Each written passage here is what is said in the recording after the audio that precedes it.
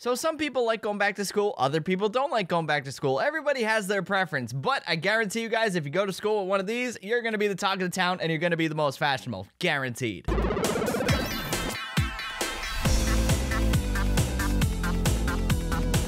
What is up, my friends? It's Ray back here, and today I want to share with you guys something super cool that I think you guys are really gonna like. Here in my hands today, I have one of the brand new limited edition Super Mario notebooks from the brand new Nintendo Moleskine collaboration. Like, how cool is this? What I also found really interesting, though, guys, is that there was also a note in the package which actually talks a little bit about the details behind this collaboration, and it reads as follows. I thought it was really sweet. It is somewhat fitting that Moleskine and Mario's paths have crossed. Notebooks are where ideas are born, and Mario was born of an idea. Classic and simple storytelling gave birth to one of the most successful and beloved characters in the history of video games. We thought you would enjoy a limited edition Super Mario Moleskine notebook from the collection since you're such a huge Nintendo fan. Enjoy your friends at Nintendo and Moleskine. Like, how sweet is that? So, as you can see, guys, these new notebooks feature retro designs from classic Mario games and are aimed to inspire your creativity, which is honestly something that's right up my alley, and I'm pretty sure the same can be said for a lot of other people out there.